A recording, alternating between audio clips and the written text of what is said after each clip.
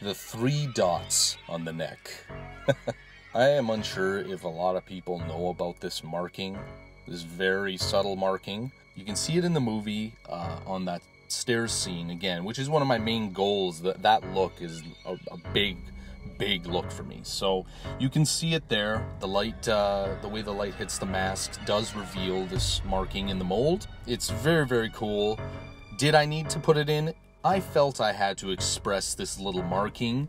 I thought as a huge fan, a colossal fan of the H5 mask, this just makes me feel warm inside. It's so cool that this is expressed on a replica, on a ground up sculpt.